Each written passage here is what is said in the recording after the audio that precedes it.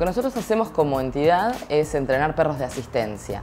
Los perros de asistencia son ayudas técnicas que eh, se entrenan para mejorar la calidad de vida y la autonomía de las personas con discapacidad. Ahí está puesto el enfoque en lo que es la autonomía. Una persona con discapacidad que tiene un perro de asistencia seguramente viaja en subte, viaja en tren, posiblemente viaje en avión. Entonces, el perro de asistencia, como está para justamente acompañarlo y brindarle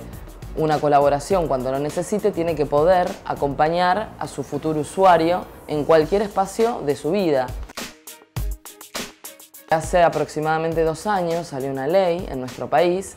eh, que permite el acceso de los perros de asistencia, o sea, de su usuario con su perro de asistencia, a cualquier espacio público o privado de la nación.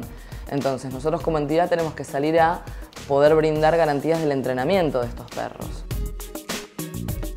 Nosotros entrenamos perros de asistencia para personas con discapacidad física, que posiblemente se encuentren en una silla de ruedas, o para familias con niños con autismo.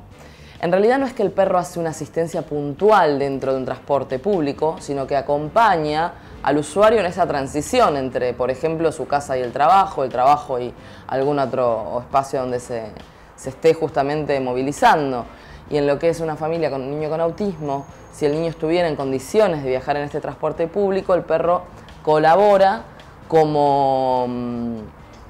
como un elemento que le brinda tranquilidad y seguridad al, niño a la hora de eh, realizar este viaje que posiblemente sea bastante estresante. Un perro de asistencia, de un perro de servicio para personas con discapacidad física tiene varias habilidades, como por ejemplo dentro de la casa o en un espacio donde se requiera, abrir una puerta, abrir un cajón y traer un objeto, si a la persona se le cae algún objeto al suelo, cobrarlo y entregárselo, eh, prender una luz,